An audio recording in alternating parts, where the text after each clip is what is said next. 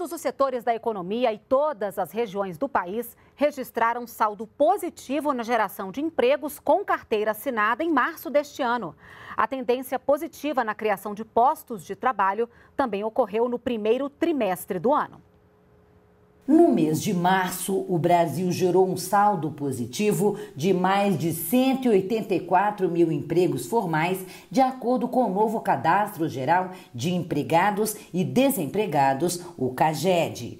Todos os setores da economia e todas as regiões do país registraram resultado positivo na criação de novos postos de trabalho. O grande destaque ficou com o setor de serviços, o mais afetado pela pandemia, que foi também o que mais se recuperou, sendo responsável por cerca de 95 mil novos postos. Seguido pela indústria, com mais de 42 mil empregos, a construção civil, com cerca de 25 mil novos empregos, e o comércio, que abriu quase 18 mil vagas de trabalho. O acumulado na geração de emprego no primeiro trimestre do ano foi de 837 mil trabalhadores empregados.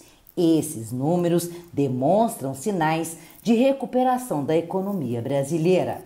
A nossa reação à segunda onda agora foi a criação de 184 mil novos empregos no setor formal, com todos os setores, todas as regiões e todos os estados. Esse porta-voz de um grupo que só faz vendas pela internet gerou nesse trimestre do ano 160 novos empregos e a expectativa é de expansão. A ideia é que nos próximos meses a gente intensifique ainda mais a abertura de vagas e a gente consiga encontrar os melhores talentos para os nossos times.